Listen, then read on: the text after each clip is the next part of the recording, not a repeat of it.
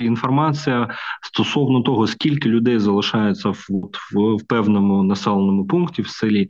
Знаєте, це дуже динамічний процес, тому що ну спочатку люди почали дуже так масово намагатися повертатися на Потім, коли почали почалися масовані обстріли, люди почали все ж таки виїжджати. Насправді всі хочуть повернутися там, де велика кількість пошкоджень, чи взагалі буде відбудова цих населених пунктів.